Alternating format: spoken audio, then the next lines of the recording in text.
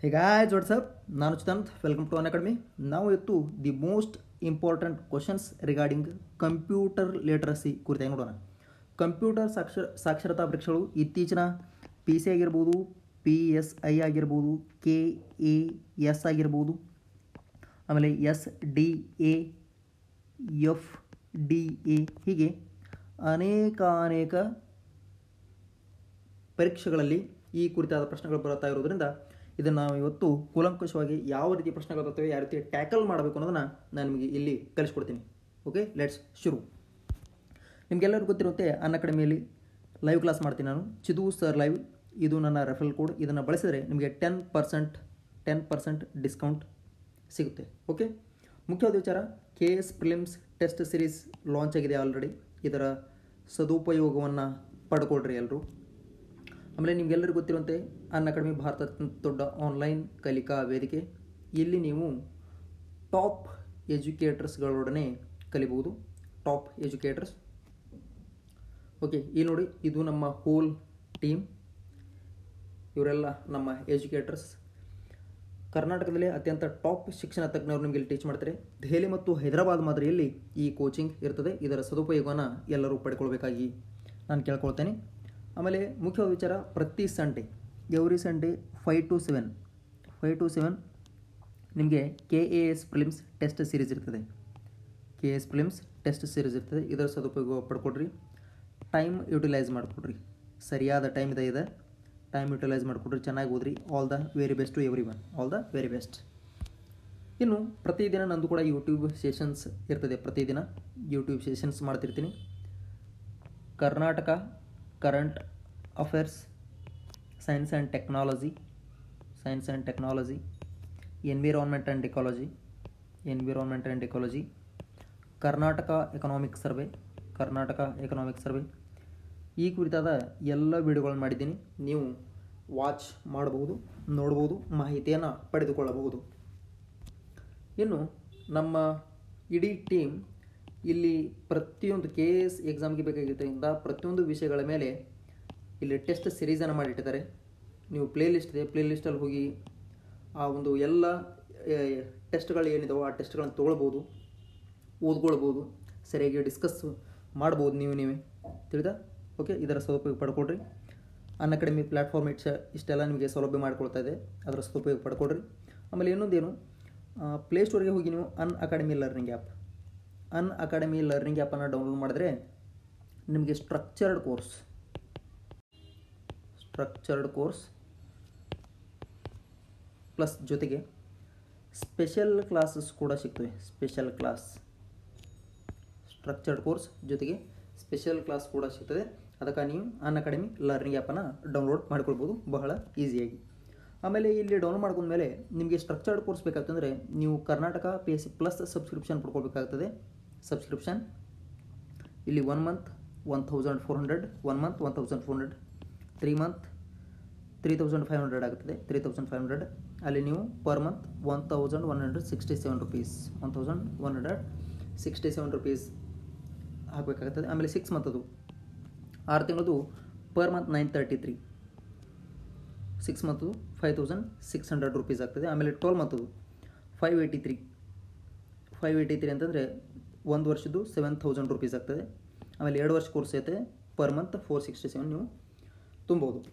ಆಮೇಲೆ ಇಲ್ಲಿ ನೀವು for example one year course ತೊಗೊಂಡ್ರೆ ಅನ್ಕೊಡ್ರಿ ಒನ್ ಇಯರ್ ಕೋರ್ಸ್ ತೊಗೊಂಡಾಗ ನೀವು ಜಸ್ಟ್ ಸೆವೆನ್ ತೌಸಂಡ್ ತುಂಬ ಅವಶ್ಯಕತೆ ಇಲ್ಲ. ಸಿಕ್ಸ್ ತೌಸಂಡ್ ತ್ರೀ ಹಂಡ್ರೆಡ್ ಯಾಕೆಂತಂದರೆ ಇಲ್ಲಿ ನೀವು ಟೆನ್ ಪರ್ಸೆಂಟ್ ಡಿಸ್ಕೌಂಟ್ ಪಡ್ಕೊಂಡಿದ್ದೀರಿ ಅಂತಂದರೆ ಇಲ್ಲಿ ಟೆನ್ ಪರ್ಸೆಂಟ್ ಡಿಸ್ಕೌಂಟ್ ಪಡ್ಕೋಬೇಕು ಅಂದರೆ ನನ್ನ ಒಂದು referral code Chidu sir live Chidu sir live ಅಂತಕ್ಕಂಥ ರೆಫರಲ್ ಕೋಡನ್ನು ಬಳಸಿದ್ರಿ ಅಂದರೆ ಸೆವೆನ್ ತೌಸಂಡ್ ತೊಗೊಂಡಾಗ six thousand six thousand three hundred ಆಗುತ್ತೆ.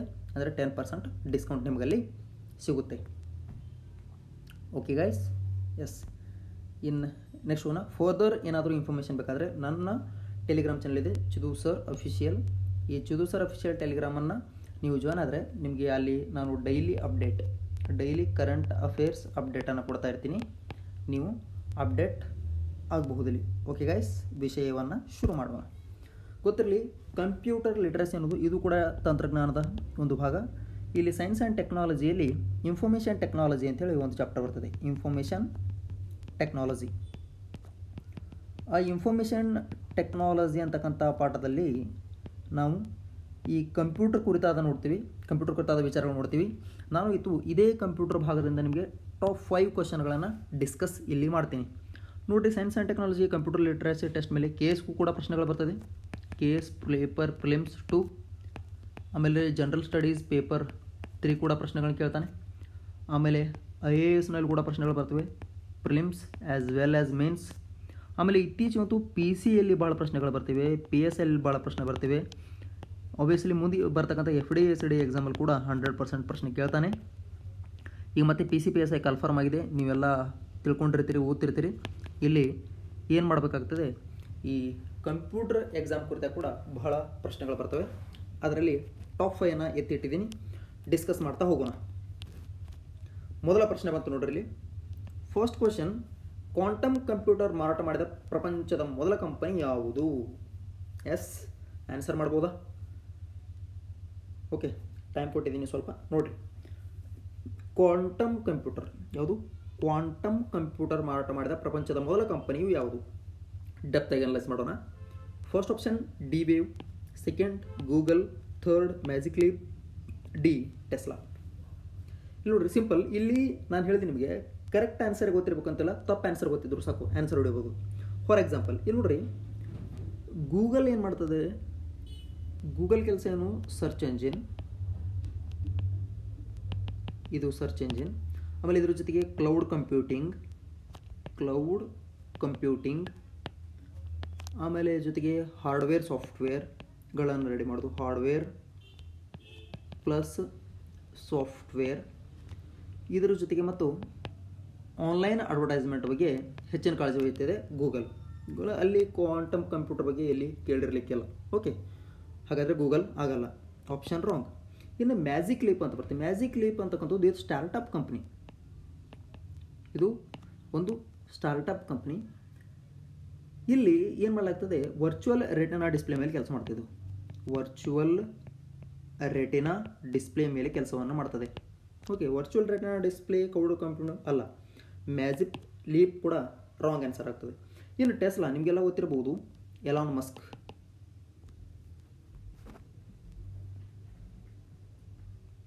ಗೊತ್ತಿರ್ಬೋದು ನಿಮಗೆ? ಓಕೆ ಎಲಾನ್ ಮಸ್ಕ್ ಈ ಟೆಸ್ಲಾ ಅನ್ನೋದು ಜಸ್ಟ್ ಏನಪ್ಪ ಅಂತಂದ್ರೆ ಇಲೆಕ್ಟ್ರಿಕ್ ಕಾರ್ಗಳನ್ನ ತಯಾರು ಮಾಡ್ತಕ್ಕಂಥದ್ದು ಎಲೆಕ್ಟ್ರಿಕ್ ಕಾರ್ಗಳನ್ನ ತಯಾರು ಮಾಡ್ತಕ್ಕಂಥದ್ದು. ಎಲೆಕ್ಟ್ರಿಕ್ ಕಾರ್ಗಳನ್ನ ತಯಾರು ಮಾಡ್ತದೆ ಅಂತಂದರೆ ಈ ಕಂಪ್ಯೂಟರ್ ಗೊತ್ತಾದ ಯಾವುದೂ ಇಲ್ಲ. ನೋಡ್ರಿ ಗೂಗಲ್ ಬಗ್ಗೆ ತಿಳ್ಕೊಂಡ್ವಿ ಗೂಗಲ್ ಅಂತೂ ಅಲ್ವೇ ಇಲ್ಲ. Magic Leap startup company virtual retina display ಮೇಲೆ ಕೆಲಸ ಮಾಡ್ತಾರೆ ಟೆಸ್ಲಾ ಟೆಸ್ಲಾ ಮೋಟರ್ಸ್ ಎಲೆಕ್ಟ್ರಿಕ್ ಮೋಟರ್ಗಳನ್ನ ತಯಾರು ಮಾಡ್ತಕ್ಕಂಥದ್ದು ಇದರ ಕೆಲಸ. ಈ ಮೂರು ಅಲ್ಲ ಅಂತಂದರೆ ವೆರಿ ವೆರಿ ಸಿಂಪಲ್ ಉಳಿದಿರೋದು ಒಂದು option that is D Wave yes that is hundred percent right answer ನೋಡ್ರಿ, ಇಲ್ಲಿ ಸಿಂಪಲ್ ಅದ. ಇಲ್ಲಿ ನೂರಕ್ಕೆ ನೂರು ಆನ್ಸರ್ ಗೊತ್ತಿರಬೇಕು ಅಂತಿಲ್ಲ. ಅರ್ಥ ಮಾಡ್ಕೊಡ್ರಿ ಟ್ರಿಕ್ ತಿಳ್ಕೊಡ್ರಿ ನೀವು ಜಸ್ಟ್ ಜಸ್ಟ್ ಏನು ಟ್ರಿಕ್ ಅರ್ಥ ಮಾಡ್ಕೊಡ್ರಿ very simple guys very very simple ಇಲ್ಲಿ ಪ್ರತಿಯೊಂದು ಮೂರು ಗೂಗಲ್ ಬಗ್ಗೆ ನೋಡಿದ್ವಿ ಮ್ಯಾಜಿಕ್ಲಿ ಬಗ್ಗೆ ಟೆಸ್ಲಾ ಬಗ್ಗೆ. ಈ ಮೂರದ್ರ ಬಗ್ಗೆ ಇವು ತಪ್ಪು ಆನ್ಸರ್ ಬಗ್ಗೆ ನಮಗೆ ಗೊತ್ತೈತಿ ಅಂದ್ರೆ ಕರೆಕ್ಟ್ ಆನ್ಸರ್ ತಾನಾಗೆ ಬಂದ್ಬಿಡ್ತದೆ. ಗೊಡ್ ಅರ್ಥ ಆಗ್ತದೆ ಅನ್ಕೊಂಡ ಈಗ ಪ್ರತಿಯೊಂದನ್ನ ಡೆಪ್ತ್ ಆಗಿ ನೋಡ್ಕೋತೋಣ ಎಸ್ ಫಸ್ಟ್ ಆಪ್ಷನ್ ಏನು? ಡಿ ವೇವ್ ಇತ್ತು. ಕರೆಕ್ಟ್ ಆನ್ಸರ್ ಏನು? ಡಿ ವೇವ್ ಓಕೆ ಈ ಡಿ ವೇವ್ ಬಗ್ಗೆ ನೋಡೋಣ. ಎಸ್ ಇಲ್ಲಿ ಕ್ವಾಂಟಮ್ ಕಂಪ್ಯೂಟರ್ನ ಮಾರಾಟ ಮಾಡಿರ್ತಕ್ಕಂಥ ಜಗತ್ತಿನ ಮೊದಲ ಕಂಪನಿ ಅಂತ ನೀವು ಕ್ವಾಂಟಮ್ ಕಂಪ್ಯೂಟರ್.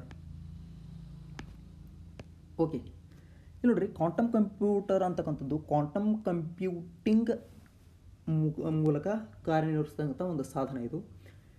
ಇದು ಟ್ರಾನ್ಸಿಸ್ಟರ್ನ ಆಧಾರವಾದ ಬೈನರಿ ಡಿಜಿಟಲ್ ಎಲೆಕ್ಟ್ರಾನಿಕ್ ಕಂಪ್ಯೂಟರ್ಗಿಂತ ಭಿನ್ನವಾಗಿದೆ. ಈಗ ನೋಡ್ರಿ ಕಾಮನ್ ಕಂಪ್ಯೂಟರ್ ನಾವೇನು ಬಳಸ್ತೀವೋ ಈ ಕಾಮನ್ ಕಂಪ್ಯೂಟರ್ ನಾವೀಗ ಪಿ ಸಿ ಆಗಿರ್ಬೋದು ಪರ್ಸನಲ್ ಕಂಪ್ಯೂಟರ್ಗಳನ್ನು ಬಳಸ್ತೀವಲ್ಲ, ಈ ಪರ್ಸನಲ್ ಕಂಪ್ಯೂಟರ್ಗಳು ಯಾವುದ್ರ ಮೇಲೆ ಕೆಲಸ ಮಾಡ್ತಾವೆ ಅಂತಂದ್ರೆ ನಿಮಗೆಲ್ಲ ಗೊತ್ತಿರಲಿ ಟ್ರಾನ್ಸಿಸ್ಟರ್ಗಳನ್ನ ಬಳಸ್ತೀವಿ, ಆಮೇಲೆ ಮೈಕ್ರೋ ಪ್ರೊಸೆಸರ್ ಬಳಸ್ತೀವಿ, ಇಲ್ಲಿ ಬೈನರಿ ಡಿಜಿಟಲ್ ಮೇಲೆ ಕೆಲಸ ಮಾಡ್ತೀವಿ.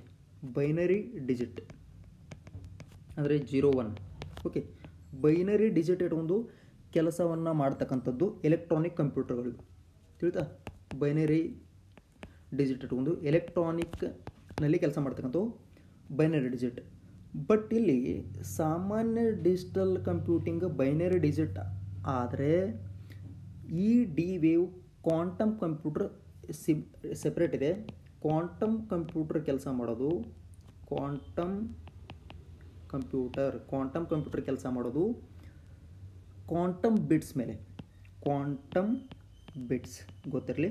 ಕ್ವಾಂಟಮ್ ಬಿಟ್ಸ್ ಈಗ ನಾವು ನೀವೆಲ್ಲ ಏನು ಬಳಸ್ತಾ ಇದ್ದೀವಿ ಪಿ ಸಿ ಆಗಿರ್ಬೋದು ಕಾಮನ್ ಆಗಿ ನಮಗೆ ಏನು ಸದ್ಯಕ್ಕೆ ಯೂಸ್ ಇದೆನೋ, ಆ ಯೂಸಲ್ಲೇನು ಬೈನರಿ ಡಿಜಿಟ್ ಮೇಲೆ ಕೆಲಸ ಮಾಡೋದು ಮಾಹಿತಿ ಬಹುದು ಕೂಡ ಹಾಗೆ ತಿಳಿತಾ? ಜೀರೋ ಒನ್ ಓಕೆ ಇವು ಬೈನರಿ ಡಿಜಿಟ್ ಆದರೆ ಕ್ವಾಂಟಮ್ ಕಂಪ್ಯೂಟರ್ ಅನ್ನೋದು ಇಲ್ಲಿ ಬೈನರಿ ಡಿಜಿಟ್ ಮೇಲೆ ಕೆಲಸ ಮಾಡಲ್ಲ, ಅದು ಕೆಲಸ ಮಾಡೋದು ಕ್ವಾಂಟಮ್ ಬಿಟ್ಸ್ಗಳ ಮೇಲೆ ಕೆಲಸವನ್ನು ಮಾಡ್ತದೆ.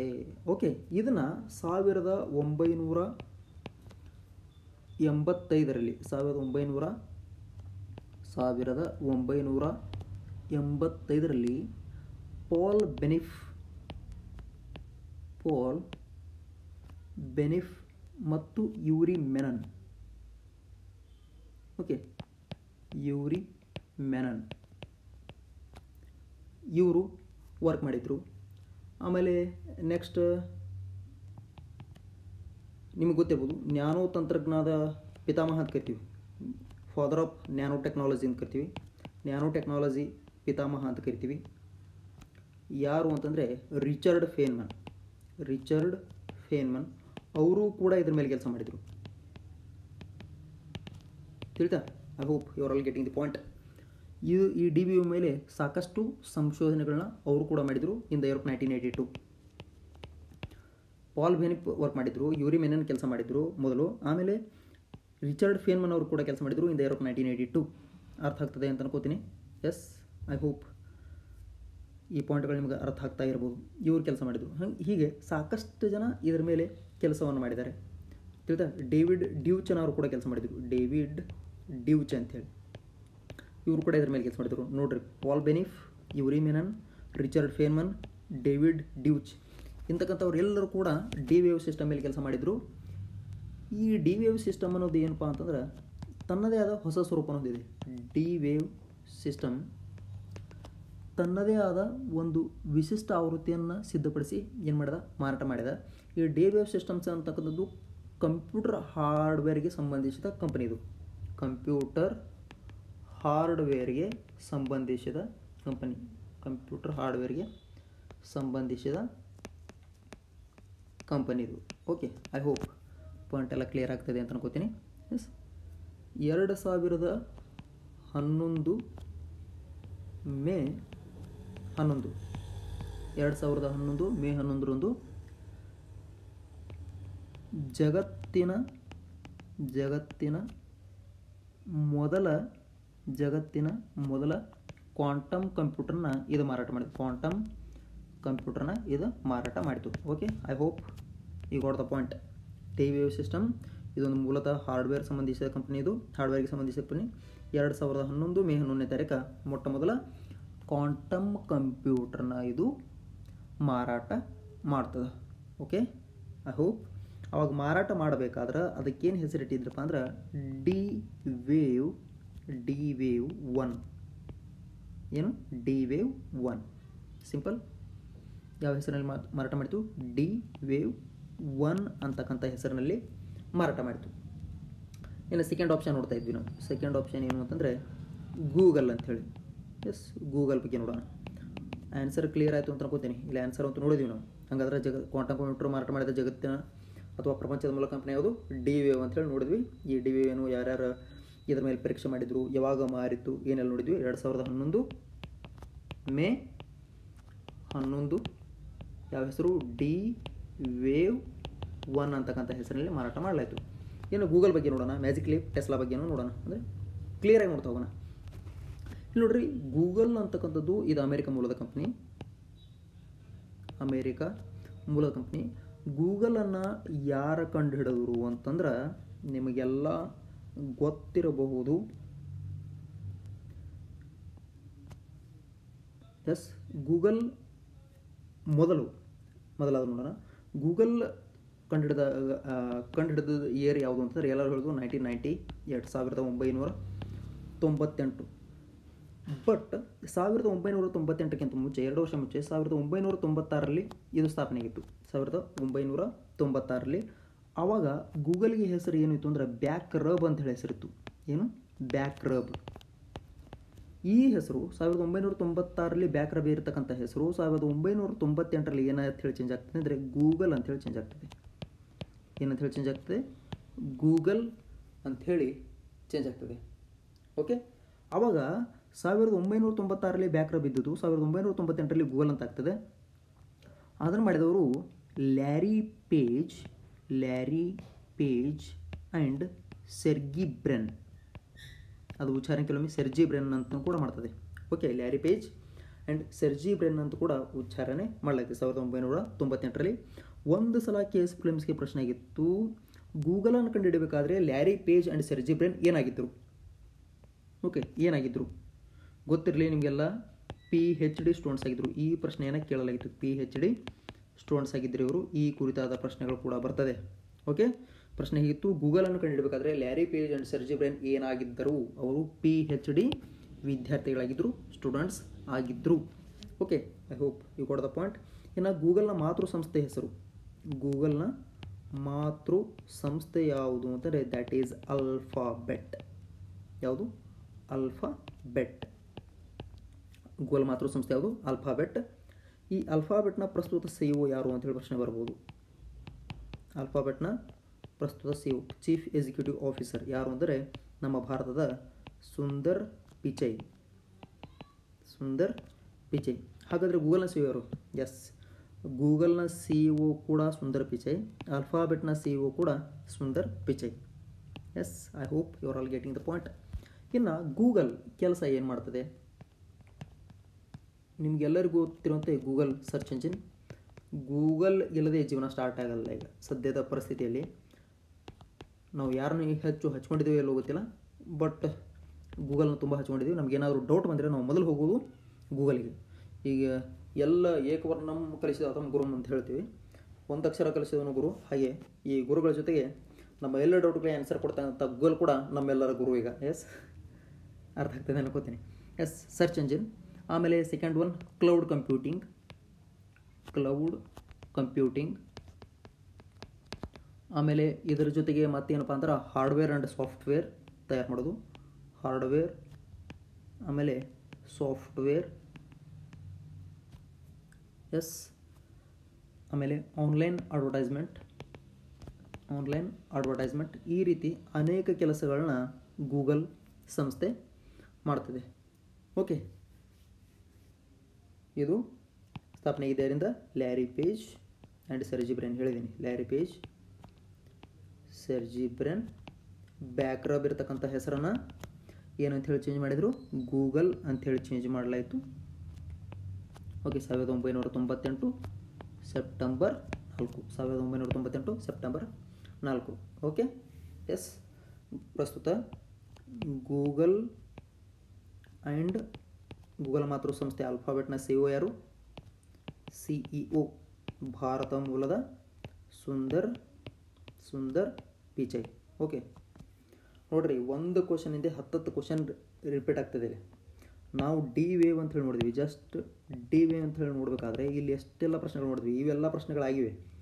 ಈ ಒಂದು ಕ್ವಶನ್ ಡಿಸ್ಕಸ್ ಮಾಡೋ ಒಂದು ನಿಟ್ಟಿನಲ್ಲಿ ಹತ್ತರಿಂದ ಹದಿನೈದು ಕ್ವಶನ್ ಡಿಸ್ಕಸ್ ಆದವು. ತಿಳಿತಾ? ಈ ರೀತಿ ನೀವು ಕೂಡ ಮಾಡಿರಿ. ಇನ್ನು ಜಸ್ಟ್ ಮ್ಯಾಜಿಕ್ ಲಿಪ್ ಸಂಸ್ಥೆ ಬಗ್ಗೆ ನೋಡೋಣ. ಮ್ಯಾಜಿಕ್ ಲೀಪ್ ಓಕೆ ಇದು ಅಮೆರಿಕದ ಏನು? ಅಮೆರಿಕ ಮೂಲದ ಸ್ಟಾರ್ಟಪ್ ಕಂಪ್ನಿ ಅಂತ ಹೇಳಿದೆ. ಇದು ಕೂಡ ಅಮೆರಿಕದ startup company start up company okay ನವೋದ್ಯಮ ಕಂಪನಿ ಅಂತ ಹಂಗೆ. ಇದು ಇದರ ಕೇಂದ್ರ ಕಚೇರಿ ಎಲ್ಲಿತ್ತಪ್ಪ ಅಂದ್ರೆ ಫ್ಲೋರಿಡಾ ಅಮೆರಿಕದ ಫ್ಲೋರಿಡಾ ಒಳಗೈತಿ. ಇನ್ನು ನೆಕ್ಸ್ಟ್ ಇದನ್ನು ಎರಡು ಸಾವಿರದ ಹತ್ತರಲ್ಲಿ ಸ್ಥಾಪಿಸಿದವರು ಅಂದರೆ ಇದರ ಸ್ಥಾಪನೆ ಆಗೋಯ್ತು ಎರಡು ಸಾವಿರದ ಹತ್ತರೊಳಗೆ. ಇದನ್ನು ಸ್ಥಾಪನೆ ಯಾರು ಮಾಡಿದ್ರು ಅಂದ್ರೆ ರೋನಿ ಅಬೋವಿಡ್ಸ್ ರೋನಿ ಅಬೋವಿಡ್ಸ್ ಅಂತಕ್ಕಂಥವರು ಇದನ್ನೇನು ಮಾಡ್ತಾರೆ? ಸ್ಥಾಪನೆ ಮಾಡ್ತಾರೆ. ಓಕೆ ಇದರ ಮುಖ್ಯ ಕೆಲಸ ತ್ರೀ ಡಿ ತ್ರೀ ಡೈಮೆನ್ಷನಲ್ ಇರ್ತೀವಲ್ಲ ತ್ರೀ ಡೈಮೆನ್ಷನಲ್ ತ್ರೀ ಡೈಮೆನ್ಷನಲ್ ಇಮೇಜ್ಗೆ ಸಂಬಂಧಿಸಿದಂತಹ ವರ್ಚುವಲ್ ರೆಟಿನಾ ಡಿಸ್ಪ್ಲೇಗೆ ಸಂಬಂಧಿಸಿರುತ್ತ ಕಂಪನಿ ಐತಿ. Virtual retinal display virtual retinal ಡಿಸ್ಪ್ಲೇಗೆ ಸಂಬಂಧಿಸಿರುವ ಒಂದೇನಾಗಿತ್ತಪ್ಪ ಇದು? ಕಂಪನಿ ಆಗಿದೆ I hope you are all getting the point in last ಹೇಳಬೇಕು ಅಂದ್ರೆ ಟೆಸ್ಲಾ ಏನು ಹೇಳೋದು ಇದ್ರ ಬಗ್ಗೆ? ಇದ್ರ ಬಗ್ಗೆ ಹೇಳಕತ್ರ ದಿನಗಳು ಸಾಕಾಗಿಲ್ಲ. ಆ ರೀತಿಯಾದ ಅದರ ಸಾಧನೆ. ಟೆಸ್ಲಾ ಮೋಟರ್ನ ಸಂಸ್ಥಾಪಕ ಯಾರು ಅಂತಂದ್ರೆ ಎಲಾನ್ ಮಸ್ಕ್ ಇವ್ರ ಬಗ್ಗೆ ಕೇಳಿರಬಹುದು. ಜಗತ್ತು ಇವನನ್ನು ಹುಚ್ಚತ್ ಕರಿತಿತ್ತು. ಇವನ ಸಾಧನೆ ನೋಡಿ ಈಗ ಜಗತ್ತ ಹುಚ್ಚಾಗಿದೆ. ಆ ಮಟ್ಟಿಗೆ ಸಾಧನೆ ಐತಿ. ಎಸ್, ಇರಲಿ.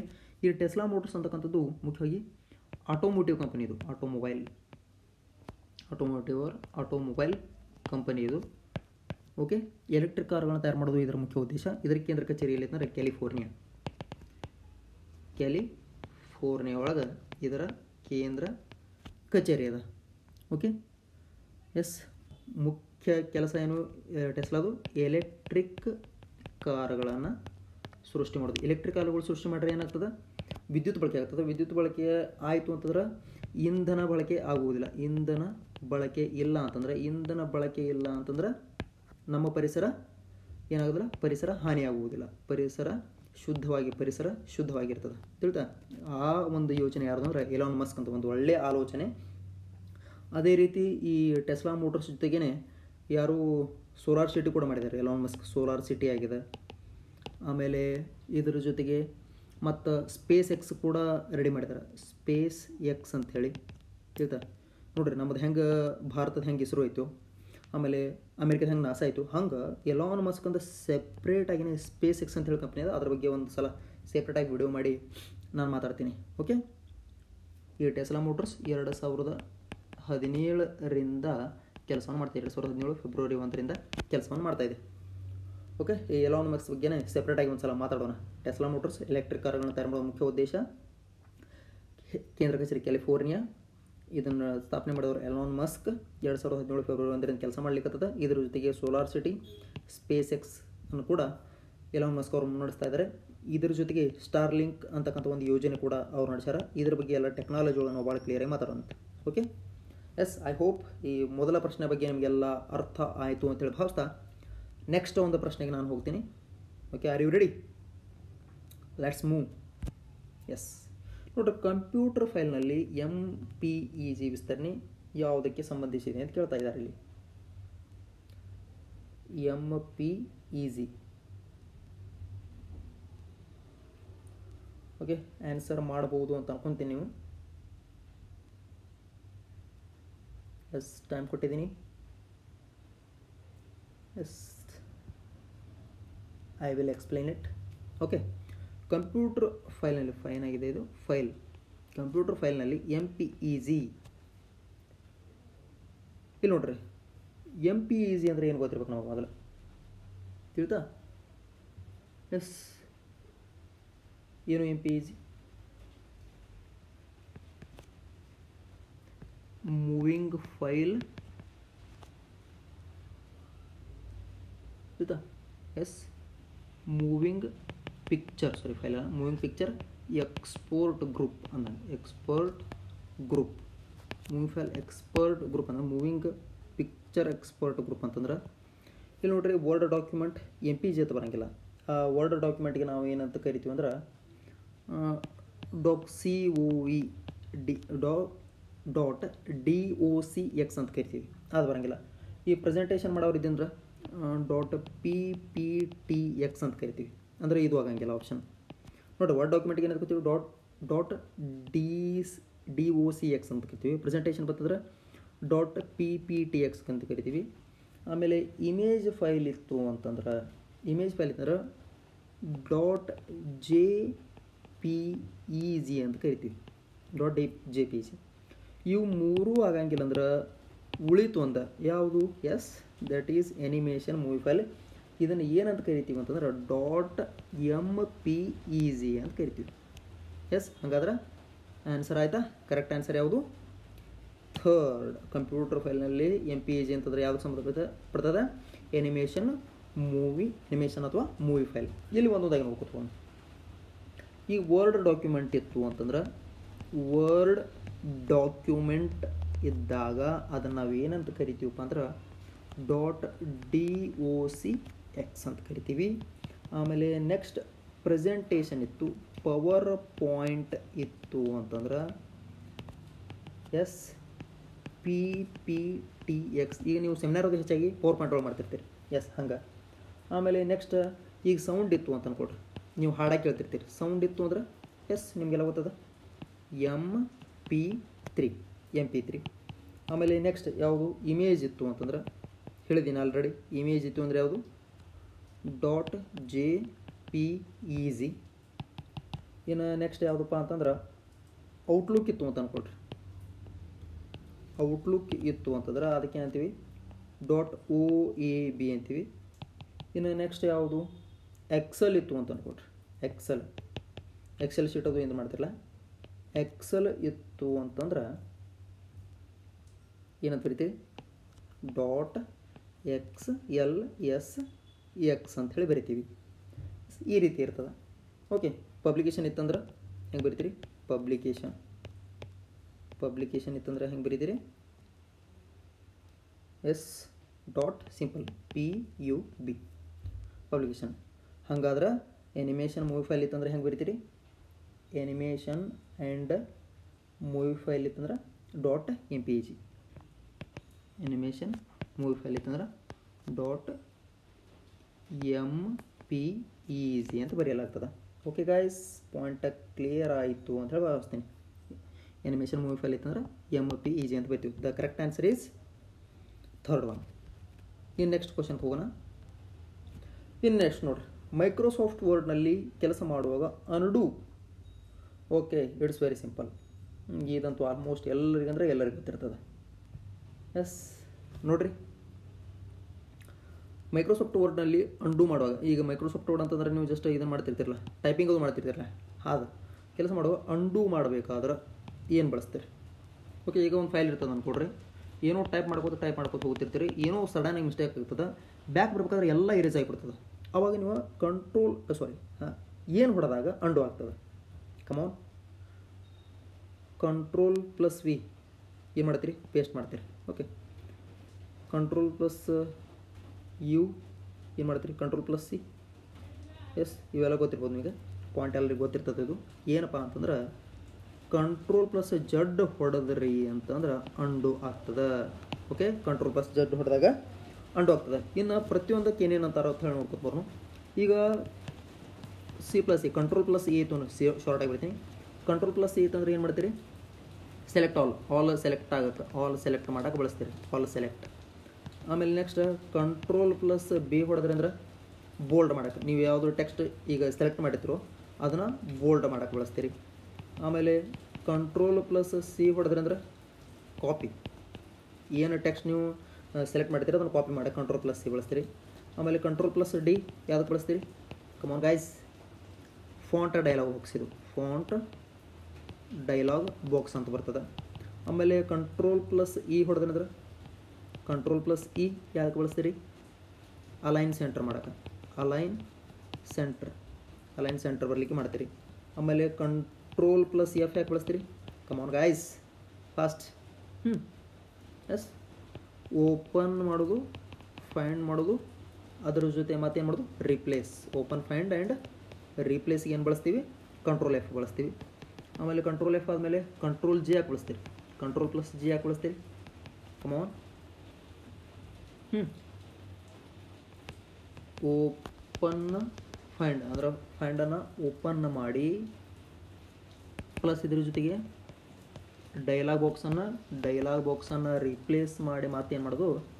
ಆ್ಯಕ್ಟಿವೇಟಿಂಗ್ ಟ್ಯಾಬ್ ಹೋಗೋದು ಆ್ಯಕ್ಟಿವೇಟಿಂಗ್ ಟ್ಯಾಬ್ ಎಸ್ ಇಷ್ಟು ಹೋದ ಮೇಲೆ ನೆಕ್ಸ್ಟ್ ಕಂಟ್ರೋಲ್ ಪ್ಲಸ್ ಹೆಚ್ ಇದನ್ನ ಯಾಕೆ open ಮಾಡ್ತೀರಪ್ಪ open find and yes replace dialogs replace dialog box with with activating activating ಇಲ್ಲಿ ನೋಡಿರಿ. ಆ್ಯಕ್ಟಿವೇಟಿಂಗ್ ರೀಪ್ಲೇಸ್ ಟ್ಯಾಬ್ ಇಲ್ಲಿ ಜಿ ಒಳಗೆ ಏನು ಮಾಡ್ತೀವಿ? ಆ್ಯಕ್ಟಿವೇಟಿಂಗ್ ಟ್ಯಾಬ್ ಅಷ್ಟೇ ಮಾಡ್ತೀವಿ. ಇಲ್ಲಿ ಆ್ಯಕ್ಟಿವೇಟಿಂಗ್ ರಿಪ್ಲೇಸ್ ಟ್ಯಾಬ್ ಮಾಡ್ತೀವಿ ಮತ್ತೆ. ಆ್ಯಕ್ಟಿವೇಟಿಂಗ್ ರಿಪ್ಲೇಸ್ ಟ್ಯಾಬ್ ಓಕೆ ಏನು? ಕಂಟ್ರೋಲ್ ಪ್ಲಸ್ ಐ ಎಸ್ ಯಾಕೆ? ಇಟ್ಯಾಲಿಕ್ ಇಟ್ಯಾಲಿಕ್ ವರ್ಡ್ ಈಗ ನೀವು ಕರೆಕ್ಟಾಗಿ ಬರ್ತಿರ್ತೀರಿ ಹೆಂಗಪ್ಪ ಅಂತಂದ್ರೆ, ಈಗ ನೋಡ್ರಿ ಇಟಾಲಿಕ್ ನಾ ಕರೆಕ್ಟಾಗಿ ಬರ್ತೀನಿ ಹಿಂಗೆ ಈಗ ಸಿದಾ. ಇದನ್ನು ಸ್ವಲ್ಪ ವಾಕ್ ಮಾಡೋದ್ರ ಇಟ್ಯಾಲಿಕ್ ಅಂದರೆ ಹಿಂಗೆ ಬರ್ತೀರಿ? ಹಿಂಗೆ. ಹಿಂಗೆ ಬರ್ತೀರಿ. ಇಟ್ಯಾಲಿಕ್ ಓಕೆ ಹಿಂಗೆ ಮಾಡಲಿಕ್ಕೆ. ಅಂದ್ರೆ control plus J control J ಯಾಕೆ ಬಳಸ್ತೀರಿ? ಅಲೈನ್ ಜಸ್ಟಿಫೈ ಮಾಡಲಿಕ್ಕೆ. ಅಲೈನ್ ಜಸ್ಟಿಫೈ ಮಾಡಲಿಕ್ಕೆ ಬಳಸ್ತೀರಿ. ಆಮೇಲೆ next control K it's hyperlink hyperlink insert ಮಾಡಬೇಕಿತ್ತಂದ್ರೆ ಬಳಸ್ತೀರಿ. ಹೈಪರ್ ಲಿಂಕ್ ಆಮೇಲೆ next control plus L control plus ಎಲ್ಲಕ left ಅನೈಲ್ ಅಲೈನ್ ಮಾಡಲಿಕ್ಕೆ. ಲೆಫ್ಟ್ ಅಲೈನ್ ಮಾಡಲಿಕ್ಕಾಗಿ ಎಲ್ ಬಳಸ್ತೀರಿ. ಆಮೇಲೆ control plus M control plus M ಯಾಕೆ ಕಳಿಸ್ತೀರಿ ಲೆಫ್ಟ್ ಇಂಡೆಂಟ್ ಮಾಡಲಿಕ್ಕೆ. ಲೆಫ್ಟ್ ಇಂಡೆಂಟ್ ಓಕೆ ಸಾಧ್ಯ ಆದರೆ ನೋಟ್ ಮಾಡ್ಕೊತ ಹೋಗ್ರಿ. ಆಮೇಲೆ control plus N yes control plus ಏನು ಯಾಕೆ ಮಾಡ್ತೀರಿ? ನ್ಯೂ ಡಾಕ್ಯುಮೆಂಟ್ ಯಾಕೆ? ನ್ಯೂ ಡಾಕ್ಯುಮೆಂಟ್ ಕಂಟ್ರೋಲ್ ಪ್ಲಸ್ ಏನು ಹೊಡೆದೆ ಅಂದ್ರೆ ಹೊಸ ಡಾಕ್ಯುಮೆಂಟ್ ಬರ್ತದೆ. ಹೊಸ ಡಾಕ್ಯುಮೆಂಟ್ ಇನ್ನು ನೆಕ್ಸ್ಟ್ ಯಾವುದಪ್ಪ ಅಂದ್ರೆ ಕಂಟ್ರೋಲ್ ಪ್ಲಸ್ ಓ ಯಾಕೆ? ಓಪನ್ ಡಾಕ್ಯುಮೆಂಟ್ ರೀ. ಓ open open document.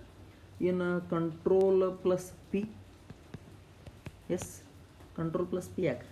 Print dialog box open print dialog box ಏನು next control plus Q come on print ಮಾಡೋದು.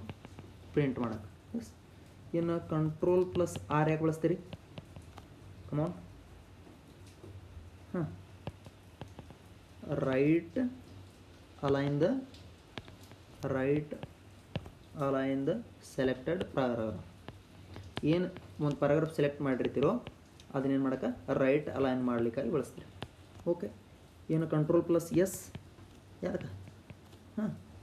ಸೇವ್ ಡಾಕ್ಯುಮೆಂಟ್ ಡಾಕ್ಯುಮೆಂಟನ್ನು ಸೇವ್ ಮಾಡಲಿ. ಆಮೇಲೆ ಕಂಟ್ರೋಲ್ ಪ್ಲಸ್ ಟಿ ಯಾಕೆ? ಗೈಸ್ ಹ್ಯಾಂಗಿಂಗ್ ಇಂಡೆಂಟ್ ಇದು. Hanging indent I hope you got the point the right answer is undo ಮಾಡಬೇಕಾದ್ರೆ ಏನು ಬಳಸ್ತೀವಿ? ಕಂಟ್ರೋಲ್ ಪ್ಲಸ್ ಜಡ್ ಅನ್ನು ಬಳಸ್ತೀವಿ. The right answer control plus Z ಬಳಸಲ್ಲ ಈ ಪ್ರಶ್ನೆಗೆ ಇದಾವೆ. ಸಿಲಿ ಅನ್ಸ್ಬೋದು ನಿಮಗೆ. ಆದರೂ ಕೂಡ ಆನ್ಸರ್ ಮಾಡಿರಿ. ಇನ್ನು ನೆಕ್ಸ್ಟ್ ಯಾವುದು? ನೋಡ್ರಿ, ಸಾಮಾನ್ಯ ಕಂಪ್ಯೂಟರ್ ಲ್ಯಾಪ್ಟಾಪ್ಗಳಲ್ಲಿ ಈ ಕೆಳಗಿನ ಯಾವ ಕೀ ಕಾಣ ಸಿಗುವುದಿಲ್ಲ, ಕಾಣುವುದಿಲ್ಲ ಅಂದಂಗೆ. ಹ್ಞೂ ಯಾವ ಕೀ ಕಾಣಂಗಿಲ್ಲ ಅಂದಂಗೆ. ನೋಡ್ರಿ, ನೀವು ಆಲ್ಮೋಸ್ಟ್ ಇದು ಸಿಲ್ಲಿ ಥಿಂಗ್ ಇದು. ಇಲ್ಲಿ ನೀವು ಭಾಳ ಟ್ಯಾಲೆಂಟೆಡ್ ಇರಬೇಕು ಅಂತಿಲ್ಲ. ನೀವು ನಾರ್ಮಲ್ ಕಂಪ್ಯೂಟ್ರ್ ಬಳಸಿದ್ರಿ ಅಂದ್ರೆ ಕಂಪ್ಯೂಟ್ರ್ ಕೀಬೋರ್ಡ್ ಮ್ಯಾಗ ಕೈ ಆಡಿಸಿದ್ರಿ ಅಂದ್ರೆ ಆನ್ಸರ್ ಮಾಡ್ತೀರಿ. ಏನ? ಜಸ್ಟ್ ಕಂಪ್ಯೂಟರ್ ಕೀ ಮ್ಯಾಗ ಕೈ ಆಡಿಸಿದ್ರಿ ಅಂತ. ಕಂಪ್ಯೂಟರ್ ಕೀಬೋರ್ಡ್ ಮ್ಯಾಗ ಕೈ ಆಡಿಸಿದ್ರೆ ಗೊತ್ತಾಗ್ತದೆ. ಸಿಂಪಲ್ ಥಿಂಗ್ ನೋಡ್ರಿ ಕೆಲವೊಂದಕ್ಕೆ ಕಾಮನ್ ಸೆನ್ಸ್ ಬೇಕು. ಅಲ್ಲಿ ಓದಿರ್ಬೇಕಂತಲ್ಲ, ಇಲ್ಲಿ ಕಂಪ್ಯೂಟರ್ ಈಗ ನಾ ಕ್ವಶನ್ ತೊಗೊಂಡು ಇದಕ್ಕೆಲ್ಲ ಕಂಪ್ಯೂಟರ್ ಓದಿ ಕಂಪ್ಯೂಟರ್ ಚೆನ್ನಾಗಿರ್ತೀರಿ ಅಂತ ಬೇಕಾಗಿಲ್ಲ ಕಾಮನ್ ಸೆನ್ಸ್ ರೀ. ಸಿಂಪಲ್ ಯೂಸಿಂಗ್ ಕಾಮನ್ ಸೆನ್ಸ್ ಹೆಂಗೆ ನೋಡ್ರಿ ಕಂ ಸಾಮಾನ್ಯ ಕಂಪ್ಯೂಟರ್ ಲ್ಯಾಪ್ಟಾಪ್ಗಳಲ್ಲಿ ಈ ಕೆಳಗೆ ಯಾವ ಕೀಗಾನು ಸಿಗೋದಿಲ್ಲ? Turn key okay alt key yes ನೋಡಿರಿ. ಹಂಡ್ರೆಡ್ ಪರ್ಸೆಂಟ್ ನೋಡಿರ್ತೀರಿ. ಡಿಲೀಟ್ ಕಿ ನೋಡಿರಪ್ಪ. ಡಿಲೀಟ್ ಆಗಿ ಮಾಡಿರಲ್ಲ ಡಿಲೀಟ್ ಶಿಫ್ಟ್ ಎಸ್ ಶಿಫ್ಟ್ ನೋಡಿರಿ ಈಗ ಎ ಅಂತೇಳಿ ಹೊಡಿತಿರ್ತೀರಿ. ಶಿಫ್ಟ್ ಹಿಡಿದು ಎ ಅಂತ ಹೊಡೆದ್ರಿ ಅಂದ್ರೆ ಕ್ಯಾಪಿಟಲ್ ಆಗ್ತಿಲ್ಲ ಇದು ಸ್ಮಾಲ್ ಇರುತ್ತೆ. ನಾರ್ಮಲ್ ಹೊಡೆದೇನೋ ಸ್ಮಾಲ್ ಆಮೇಲೆ ಶಿಫ್ಟ್ ಹಿಡಿದ್ರೆ ಕ್ಯಾಪಿಟಲ್ ಆಗ್ತದೆ. ಟರ್ನ್ ಕಿ ಎಲ್ರಿ ನೋಡಿರಿ ಟರ್ನ್ ಕಿ ನೋಡಿಲ್ಲ. ಅಂದ್ರೆ ಸಾಮಾನ್ಯ ಕಂಪ್ಯೂಟರ್ ಒಳಗೆ ಯಾವ ಕಿ ಕಾಣಿಸಂಗಿಲ್ಲ? Turn key ಕಾಣಂಗಿಲ್ಲ. The right answer is turn key ಇಲ್ಲಿ ಕರೆಕ್ಟ್ ಆನ್ಸರ್ ಯಾವುದು? ಯಾವ ಕೀ ಕಾಣ ಸಿಗುವುದಿಲ್ಲ you won't see won't see ಯಾವ ಕೀಯನ್ನು ನೀವು ನೋಡಂಗಿಲ್ಲಪ್ಪ ಅಂದ್ರೆ that is a turn key turn key ಎಲ್ಲಿ? ಕಂಪ್ಯೂಟರ್ನಾಗ ಇರಂಗಿಲ್ಲ. ಓಕೆ ಅಂದ್ರೆ ದ ರೈಟ್ ಆನ್ಸರ್ ಯಾವುದಿಲ್ಲ turn key is the right answer turn key is the right answer ಇನ್ನು ಆಲ್ಟ್ ಕೀ ಏನು ಮಾಡ್ತದ? A L T key alt key ಏನು ಮಾಡ್ತದಪ್ಪ? ಎಸ್ ಕಮೌನ್ ಅಕ್ಷರ ಮತ್ತು ಸಂಖ್ಯೆಗಳನ್ನ ಶ್ರೇಣಿಗೆ ವರ್ಗಾಯಿಸ್ತು. ಓಕೆ ಇದರಿಂದ ನೀವೇನು ಮಾಡ್ಬೋದು? ಇಂಟರ್ನ್ಯಾಷನಲ್ ಕೀವರ್ಡ್ಗಳು ಕೂಡ ಬೆಳೆಯಬಹುದು ಇಂಟರ್ನ್ಯಾಷನಲ್ ಕೀವರ್ಡ್ ಬಳಸ್ಕೊಳ್ಬೋದು. ತಿಳಿದ? ಅಕ್ಷರ ಮತ್ತು ಸಂಖ್ಯೆಗಳೇನು ಮಾಡ್ತದ? ಸಿರೀಸ್ ಆಗಿ ಜೋಡಿಸ್ತದೆ. ಎಸ್ ಆಲ್ಟಿಗೆ ಬಳಸಿದವ್ರು ಗೊತ್ತಿರ್ತದೆ.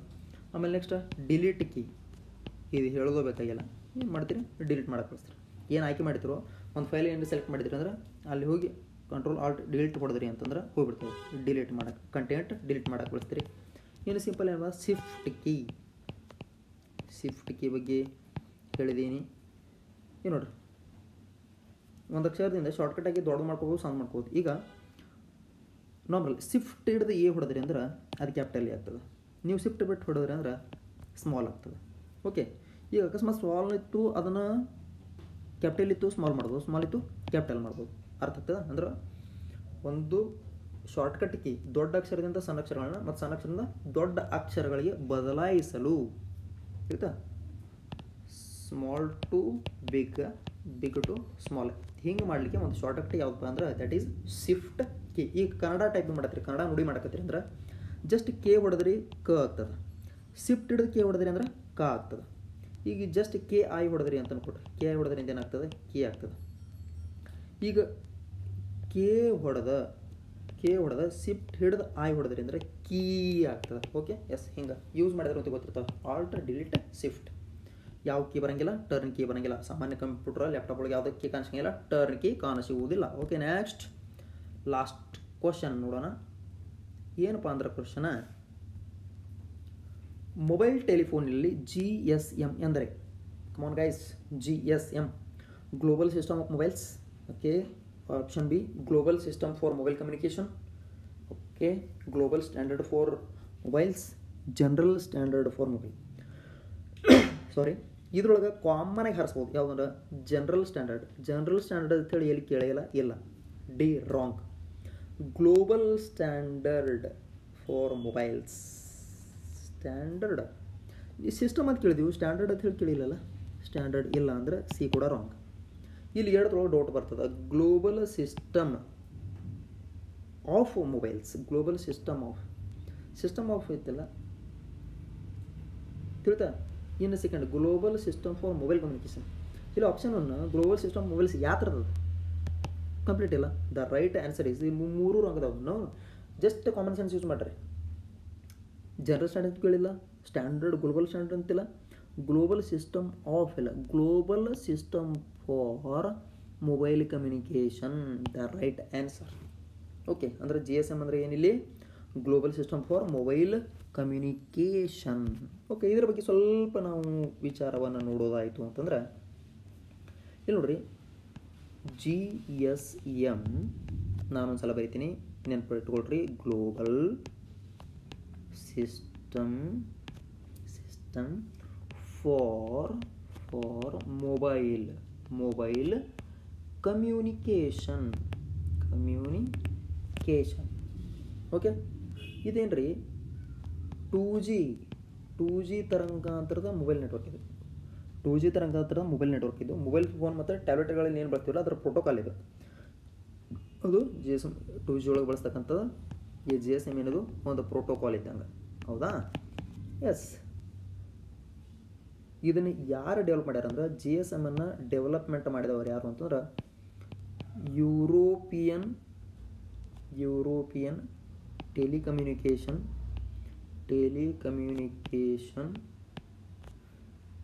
standard institute standard ಇನ್ಸ್ಟಿಟ್ಯೂಟ್ನವ್ರು ಏನು ಮಾಡ್ಯಾರಪ್ಪ ಅಂದ್ರೆ ಇದನ್ನು ಡೆವಲಪ್ ಮಾಡ್ಯಾರ. ಯುರೋಪಿಯನ್ ಟೆಲಿಕಮ್ಯುನಿಕೇಷನ್ ಸ್ಟ್ಯಾಂಡರ್ಡ್ ಇನ್ಸ್ಟಿಟ್ಯೂಟ್ನವ್ರು ಏನು ಮಾಡ್ಯಾರ ಅಂದ್ರೆ ಈ ಜಿ ಎಸ್ ಎಮ್ಮನ್ನು ಡೆವಲಪ್ಮೆಂಟ್ ಮಾಡಿದ್ದಾರೆ ಓಕೆ ಎಸ್ ಇದರ ಫುಲ್ ಫಾರ್ಮ್ ಏನು? Global system for mobile communication ಹಾಗಾದ್ರೆ ಇಲ್ಲಿ ನೋಡ್ರಿ ಜಿ ಎಸ್ ಎಂ ಈಗ ನೀವು ಮೊದಲು ಬಳಸ್ತಿರಲ್ಲ two G G S M two G ಇತ್ತು ಅಂತಂದ್ರೆ ಅದು global system for mobile communication G S M ಆಗ್ತದೆ.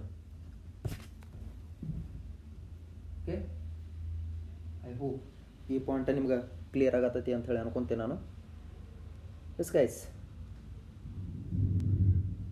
ಓಕೆ ಇಲ್ಲಿ ಇನ್ನೊಂದು ಬರ್ತದೆ ಮತ್ತೆ ಇದು ಜಿ ಎಸ್ ಎಂ ಆಯ್ತಾ? ಈಗ ನಾವು ಡಿಸ್ಕಸ್ ಮಾಡೋದು ಜಿ ಎಸ್ ಎಂ ಆಯ್ತು. ಇನ್ನು ನೆಕ್ಸ್ಟ್ ನಿಮಗೆ ಕೇಳಿರ್ಬೋದು. ಇದು ಟೂ ಜಿ ಆಯಿತು ಜಸ್ಟ್ ನಾರ್ಮಲ್ ಮೊಬೈಲ್ ಒಳಗೆ ಇನ್ನು ಯು ಎಂ ಟಿ ಎಸ್ ಅಂತ ಹೇಳಿ ಬರ್ತದೆ. ಯು ಎಂ ಟಿ ಎಸ್ ಅಂತ ಹೇಳಿ ಬರ್ತದೆ. ಈಗ ನೀವು ದೊಡ್ಡ ದೊಡ್ಡ ಮೊಬೈಲ್ ಒಳಗೆ ಎಲ್ ಟಿ ಇ ಅಂತ ಹೇಳಿ ಬಳಸ್ತೀರಿ ದಟ್ ಈಸ್ ಫೋರ್ ಜಿ ಇದು ಟೂ ಜಿ ಆಯಿತು. ಇದು U M T S three G ಆಯಿತು. ಎಲ್ ಟಿ ಫೋರ್ ಜಿ ಬರ್ತದೆ. ಇನ್ನು ಮುಂದೆ ಫೈವ್ ಜಿ ಬರ್ತದೆ ಇದ್ರ ಬಗ್ಗೆ ಸ್ವಲ್ಪ ನೋಡ್ಕೊಂಬಿಡೋಣ ಅಂತ ಏನೇನೈತಿ ಏನೇನಿಲ್ಲ ಅಂತೇಳಿ ಜಿ ಎಸ್ ಎಂ ಅನ್ನೋದು ಗೊತ್ತಾಯಿತು. ಯು ಎಂ ಟಿ ಎಸ್ ಅಂದರೆ ಏನಪ್ಪ? ಯು ಎಂ ಟಿ ಎಸ್ ಏನು? ಇದು three G G S M two G U M T S three G ಇದೇನಿದು? Simple universal universal mobile universal mobile telecommunication telecommunication system telecommunication system three G ಇನ್ನು almost ಎಲ್ಲರಿಗೂ ಗೊತ್ತಿರ್ತದೆ L T E four G ಅಂತೇಳಿ. L T E four G ಏನಿದು?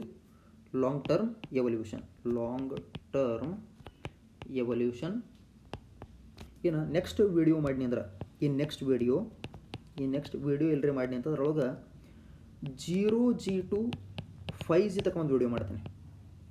ನೀವು ಅನ್ಬೋದು one ಜಿಯಿಂದ ಶುರು ಆಗ್ತೈತಲ್ಲ ಮಾಸ್ತರ? Zero G yes zero G is exist ತಿಳ್ತಾ?